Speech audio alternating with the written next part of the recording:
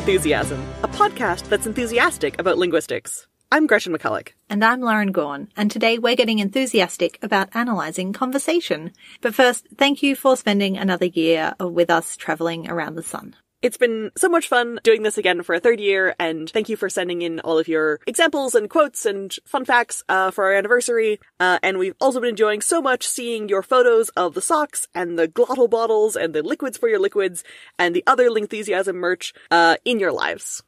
We're looking forward to bringing you another year of Lingthusiasm, both our main episodes and our bonus episodes in 2020. Our current bonus episode is about onomatopoeia. And you can get access to the Onomatopoeia bonus and 33 other bonus episodes at patreon.com slash lingthusiasm. Or follow the links from our website.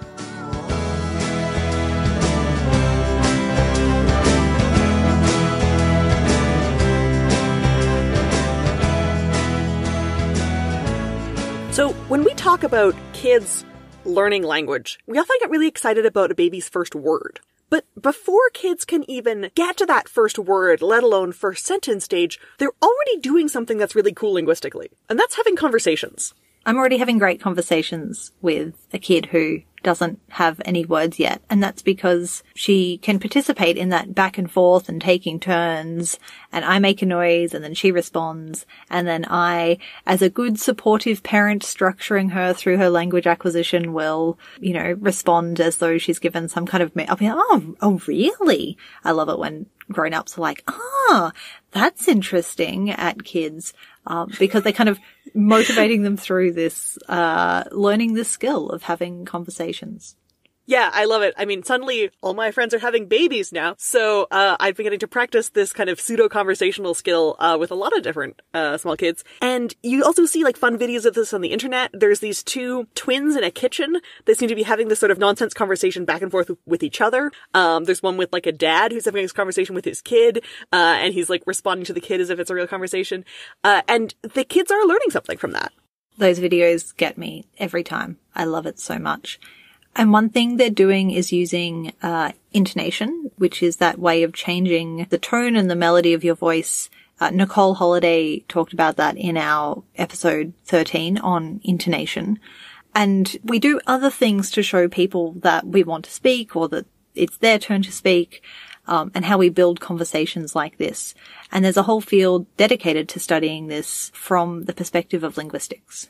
Yeah, conversation analysis is such an interesting subfield of linguistics because a lot of us think about the sounds or the, the words or the sentences, but there's also this like broader conversational level where there are also interesting patterns going on. And a thing that I found most satisfying about encountering conversation analysis was how understanding how there are sort of different cultural conversational norms, which helped me navigate different kinds of conversations that I was having and different kinds of norms that other people were having, even if you're all speakers ostensibly of English. Even if you're speaking the same language, you can have slightly different conversational norms depending on your personality type or uh, what region you're from or various other factors. Understanding those more explicitly can help make those conversations more rewarding.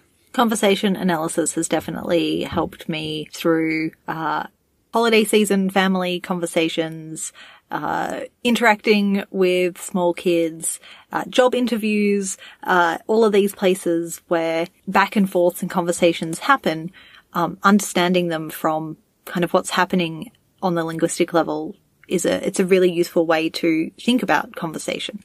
Yeah, and, you know, travel when you're interacting with people from different backgrounds and stuff like that also really helps with that. So there's this great metaphor that gets used with conversation, which is already kind of present in English in general that conversation analysis have really seized on, which is the idea that conversations have a floor. And when you have the floor, you're the one who's talking, so I have the floor right now. But I could interject and I could take the floor. And the metaphor is from places like parliaments, where there is a literal speaking area on the floor where a person comes to and does the speaking.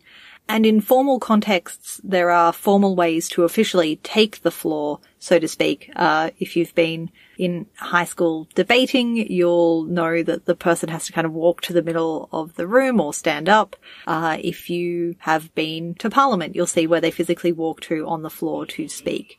And even in less formal contexts, like when you start going to school and you get taught, and you like you need to raise your hand before you talk. That's a way of saying we've got 30 people in here, and the only way to manage the floor is to do some more sort of more formalized things because by default the teacher has the floor. Or, you know, in some contexts you have something like a talking stick you can pass around and that also helps signal who has the floor. And those formal ways of showing who has the floor are great in formal situations or in large groups of people where lots of people might be kind of competing to be the one to speak or, or negotiating who's going to be the one to speak. But when there's a smaller groups of people, we can also signal our interest in taking the floor. We can do that with our voice by kind of going, ah, yeah, or, or, or kind of saying, oh, that's, that's a great point, and then waiting for them to speak and then stepping in. Or we can use the way we look at someone, or we can lean forward, or, or use a gesture that we kind of hold in space to show that we are ready to take the floor if someone will give it over to us. I've been talking at a lot of conferences on panels recently, and the interesting thing about being on a panel of four or five people is that you're kind of figuring out how to navigate who has the floor because you're trying to present a good experience for the audience and let each of the panelists talk about their area of expertise. And you want to kind of negotiate that who has something to say next sort of thing. So I've become very attuned to what I call the like, I have something to say about that body language gesture combination, which is like you have one hand that's kind of raised a little bit, you know, just below the level of your face with like maybe your index finger extended and the other finger's kind of curled. Uh, and then your, your eyebrows a little bit lifted and your mouth kind of half open, and you might say something like, ah. Um, and of course I'm doing it, but you can't see it, but you can kind of just picture that like, hello, I would like to interject politely, please. Gesture set, uh, and facial expressions. And that's one way of signaling like, I'd like to talk in a sort of semi-formal context. And in those contexts, a really good panel moderator or a really good, like, chair of a meeting will read that and kind of go, okay, we'll hear from this person and then that person as a way of managing that. In more informal situations, it really is a matter of everyone in the conversation trying to be as receptive as possible to the needs of each of the speakers. Or sometimes, you know, deliberately not doing that and saying, like, I know you have a thing to say, but I, let me finish this. Uh, you know, you, there's, you can not let people have the floor as well. I think the really interesting thing about conversation analysis is it shows just how much negotiating we do. We might be talking about, you know, a topic over here, but so much of our energy about talking around that topic happens around the edge of who has the right to speak, who's going to finish their turn, uh, who's going to talk next. And there are lots of ways to not give the floor over to someone. So we talked a bit about, you know, the, I'm, I'm willing to speak now, body language and, and things you can say. But there are also strategies to stop people from taking their turn. So continuing to speak, you can use intonation to stop people taking over uh, the conversation by making your voice go up a little bit at the end so that it makes it clear that you still have something more to say and then people will be less likely to interject. See, look, I didn't interject at any point there because I was like, Lauren clearly has something to say because she's going up at the end, uh, and she doesn't want me to interrupt her. Thank you very much yeah. for taking the floor maintaining cue that I was using. And even things like a filled pause. So when you say something like, um, or, uh, or, you know, well, uh, I think maybe that can be a way of saying, I'm still searching for the words that I want to try to get out, but I have words to get out. It's not just a, a silent pause where, uh, the other person might take it on their turn to talk. Also holding your gesture up in the gesture space. So if you go up and make a gesture and you don't put it down, even if you don't say anything. And I like to use this when I teach language and gesture. I kind of see how long the students can cope with me having my hands up without saying something before they start looking a bit uncomfortable. And you can stretch it out really far. So if you have a conversational situation where you don't want to give someone else the chance to speak for a particular reason. There are lots of strategies that you can use to maintain uh, being the person who's doing the talking. One that I found really interesting is the use of eye gaze in this, because if you think of a kind of simple notion of eye gaze, you might assume like, oh, people are talking to each other, they must be looking at each other. Mm-hmm. But in actual fact, what often happens is that the person who's listening is more likely to gaze at the person who's talking, but the person who's talking is more likely to gaze away. And then the talker can use that return of the eye gaze to the listener or to the groups of listeners to signal that they're finished with their turn. And listeners can also do things to support the person who is talking. So you can nod your head. You can go, uh huh, yeah, yeah. You can kind of give them some vocal feedback. Um, but that gaze is also really important.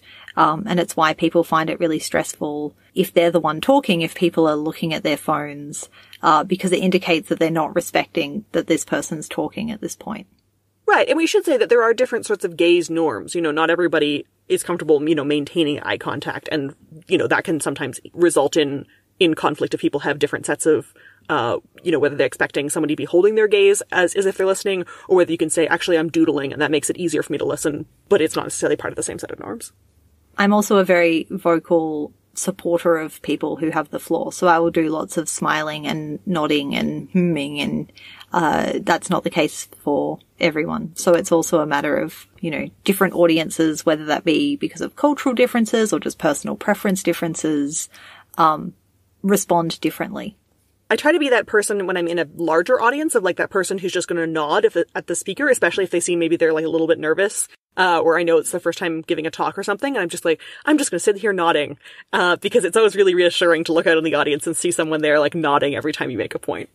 Because that's how we've learnt to structure conversation, and then suddenly you have a different genre, which is a formal talk, and you're not getting those cues that you're used to from conversation. It can be really confronting. And it's really confronting when you have someone who sits there and doesn't really smile or nod.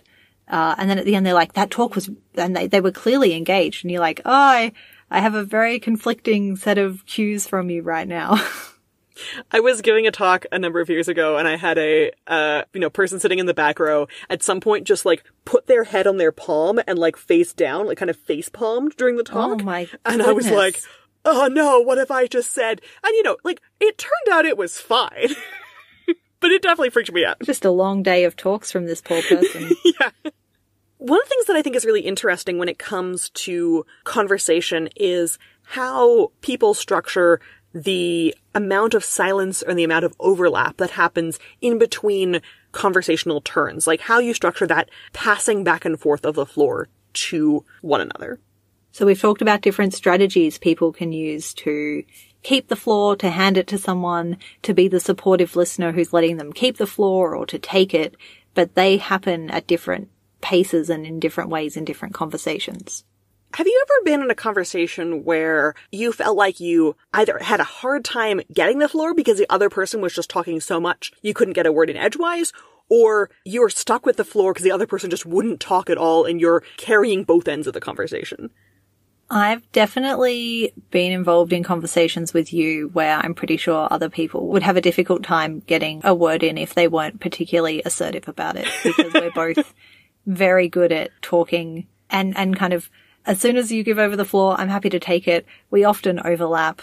Um, we owe a great debt of gratitude to our producer Claire who makes this sound like a conversation people can listen to sometimes.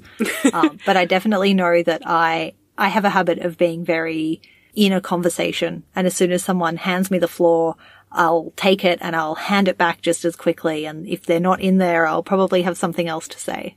Yeah, and for me, if I, if I'm excited about what someone's saying, I want to be sort of anticipating what they're going to say and not finishing their sentences in a, like, you know, trying to cut them off sort of way, but in a, like, I'm showing that I'm following you so closely that I can anticipate what you want to say because of how much I'm paying attention right now.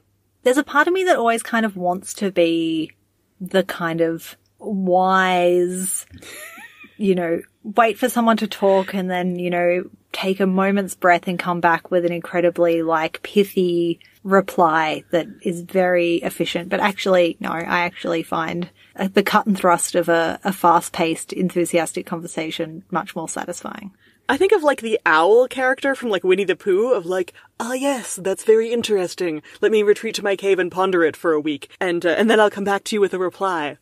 But I've been in the situation where even though normally I'm I'm really keen on the the cut and thrust of the conversation, I'm definitely more of that sort of uh, on that sort of side. Sometimes I have been in conversations, especially if I'm a little bit tired, where someone else will just be talking and I'll be like, uh, uh, yeah. I guess I could say something, but I'm just silent right now, and you're just you're just doing all the talking, and I'm I'm sorry about that, but like that's that's what you're doing.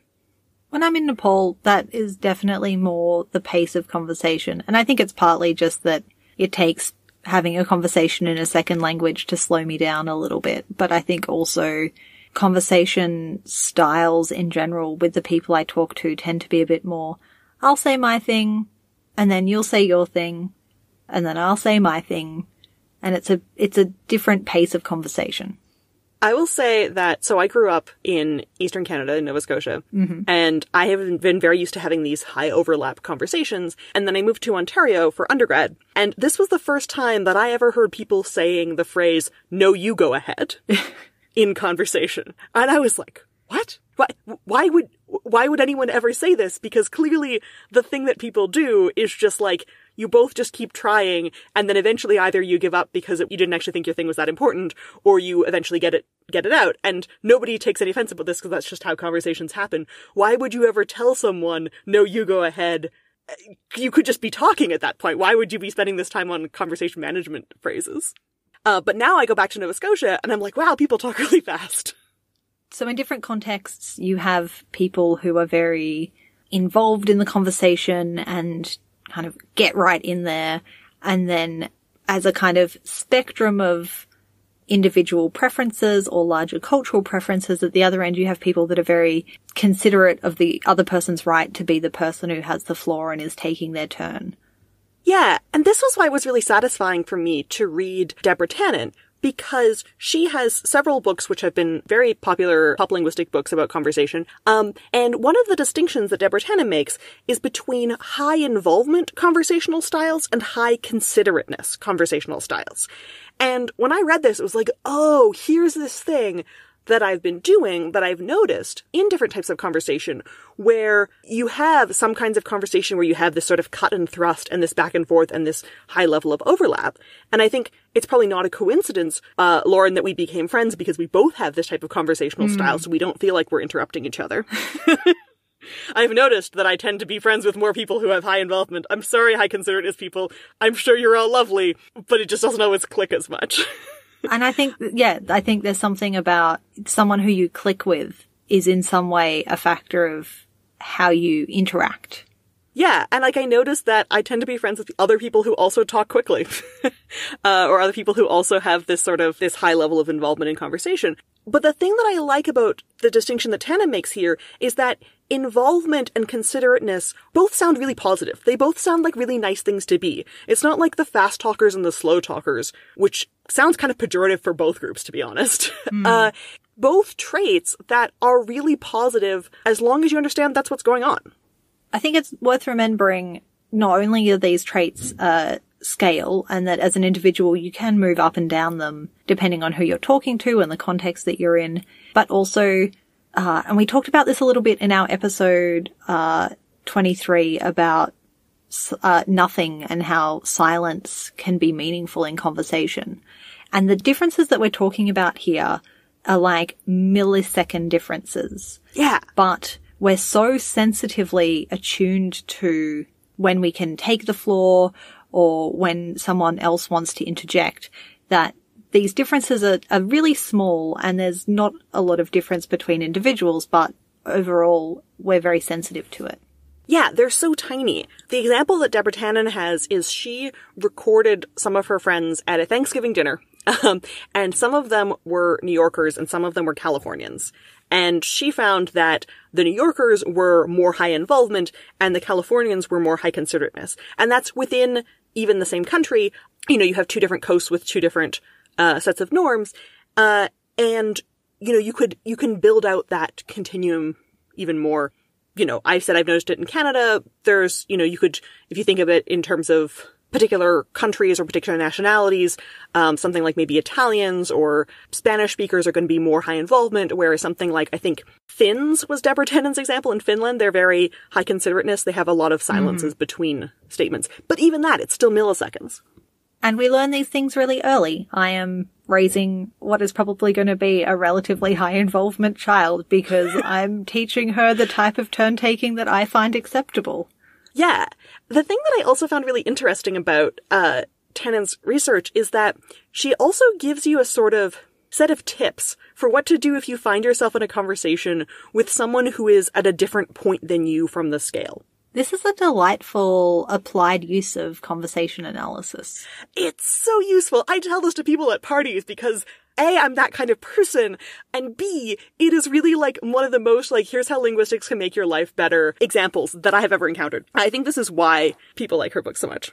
So as a high involvement person, if I'm going to have a conversation with someone who has a really high considerateness threshold, um, what should I do? Right. So as a high involvement person, something you may encounter uh, more often is that you're in a conversation with somebody and the other person is just not talking. And you're like, oh my god, I did not sign up to give a monologue here. Why is this person not keeping up their end of the conversation? Mm-hmm. Are they bored? Are they unengaged with me? Like, I have to do it all the work myself. Yeah. And so the temptation when that happens is to kind of go into monologue mode of like, I guess I'm just doing all this work myself. I didn't sign up for this, but I guess I'm just giving a monologue now because like this person just won't talk. And so Tannen points out like the temptation is to kind of dig in deeper into the thing you're already doing. But what's actually probably happening is that this person is waiting for a pause that's long enough that they can interject and they don't feel like they've gotten one yet. This is why I find sometimes having coffee as like an actual activity is quite useful because even the most high involvement person has to stop for a few milliseconds to have a drink. Sometimes I do this very explicitly if I'm like having lunch or something with someone and I notice that I've been doing a lot of talking and so their food is like almost all eaten and my food is not eaten. And I'll be like, I'm going to eat my food now. You should talk to me. that should be a quantitative analysis, counting how much food is left for each person at different points in the conversation. It's like, I still have three quarters of a sandwich here, and you have barely any sandwich left, so it's your turn to do the talking, and I'm gonna eat my sandwich now. and it's great, because, like, A, I get a sandwich, and B, I also don't have to do the whole side of the conversation, and the other person doesn't feel like I'm monopolizing the conversation as much. So what if I'm a high considerateness person, or I'm in a conversation where I, I feel like that's my interactional style, and I'm being bombarded by a high involvement person? Yeah, so even though I would consider myself fairly high involvement, sometimes I've been in the flip side of that, where you have somebody who's doing all the talking and not letting you get a word in edgewise. And the temptation, if you're more on the considerateness end in a given conversation, is to kind of say, okay, well, I guess I'm just not going to get a word in edgewise. I'm going to just sit back here because this person seems totally content to just like do all the talking. I'm just going to give up.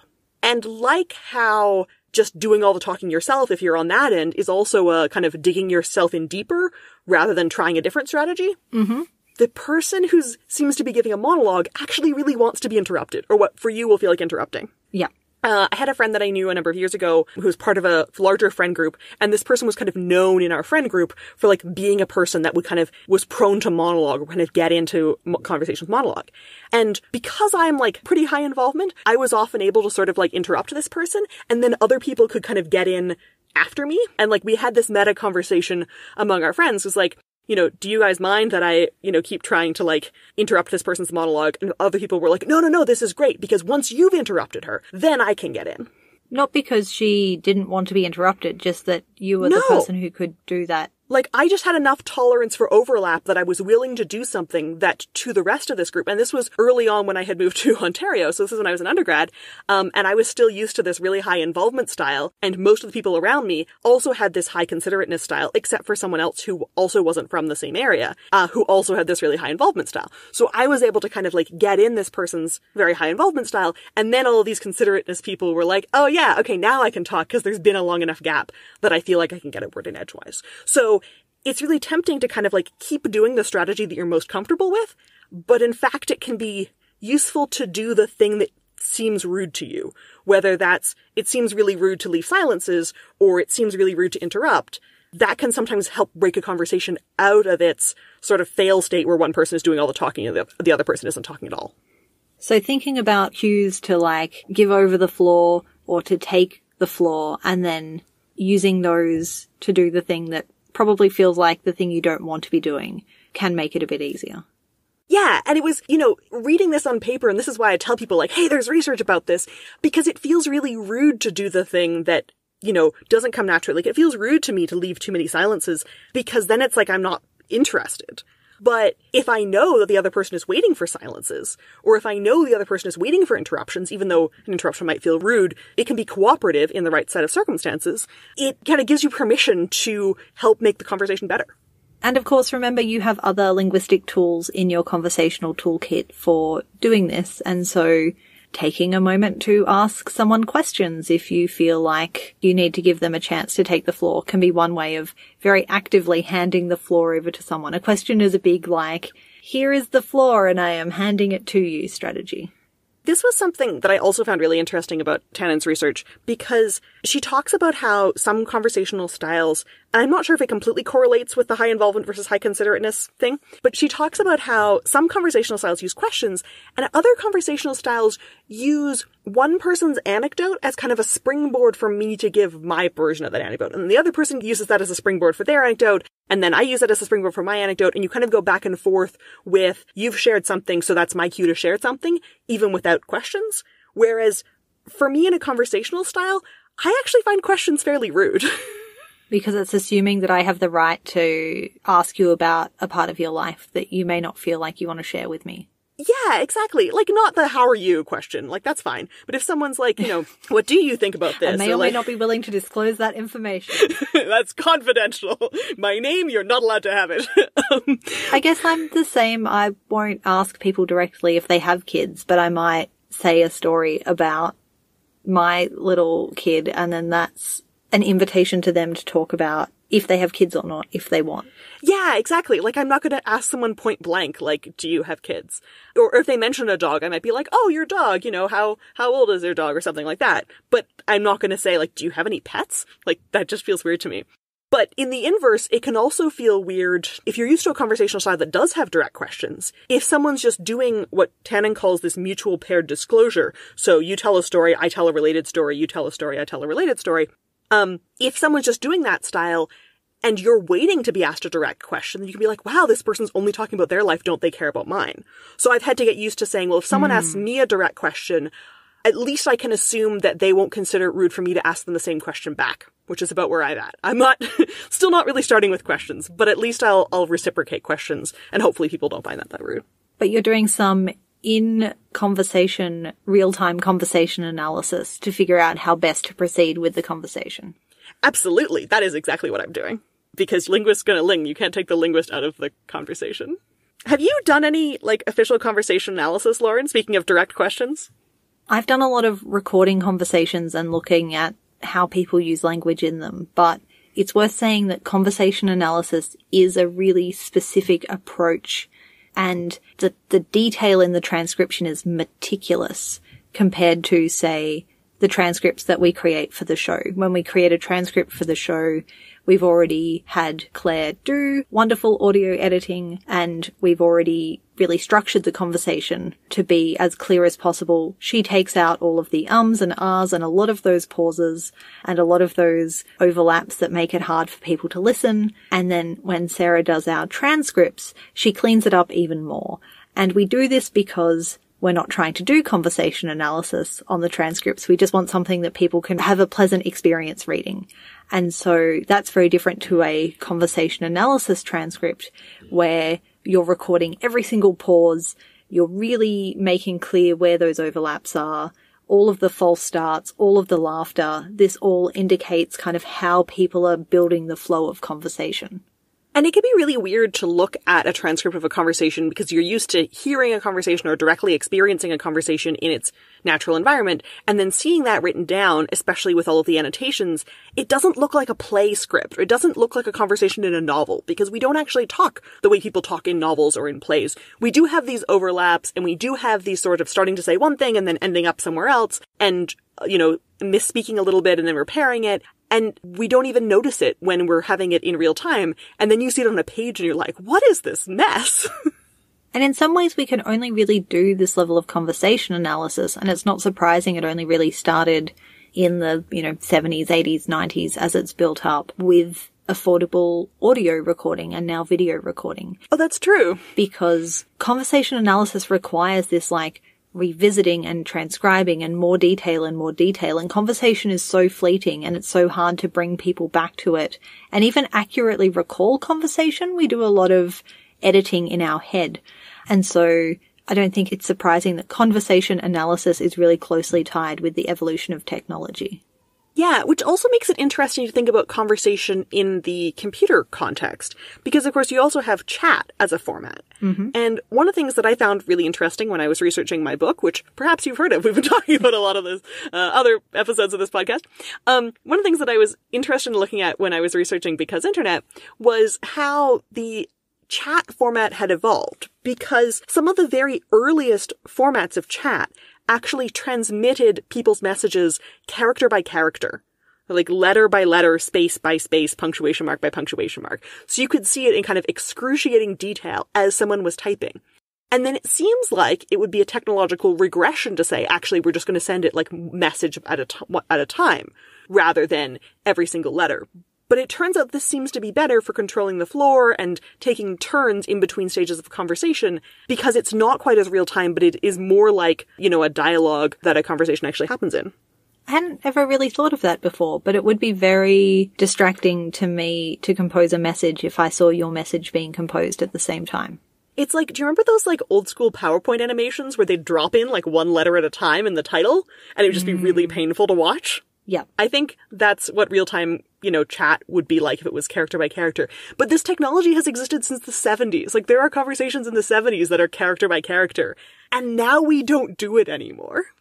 And you also get platforms so like Google Docs where if you're collaborating on the document itself, you see other people's messages character by character. But if you want to chat about what's in the document, you go back to a turn-based thing where you either use the comments or you use the chat sidebar, or sometimes people will just like each go on a new line and they'll talk that way.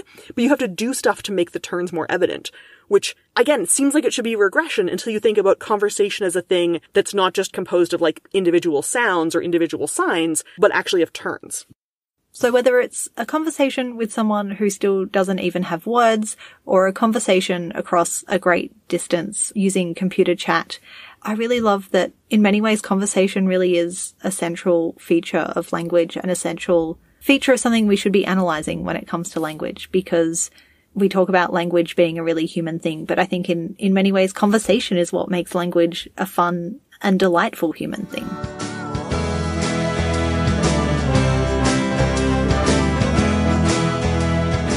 For more Lingthusiasm and links to all the things mentioned in this episode, go to lingthusiasm.com. You can listen to us on Apple Podcasts, Google Podcasts, Spotify, SoundCloud, or wherever else you get your podcasts, and you can follow at Lingthusiasm on Twitter, Facebook, Instagram, and Tumblr. You can get IPA and Syntax Tree scarves, ties, and socks, and other Lingthusiasm merch at lingthusiasm.com slash merch. I tweet and blog as Superlinguo. I can be found as at Gretchen A. McC on Twitter. My blog is allthingslinguistic.com, and my book about internet language is called Because Internet.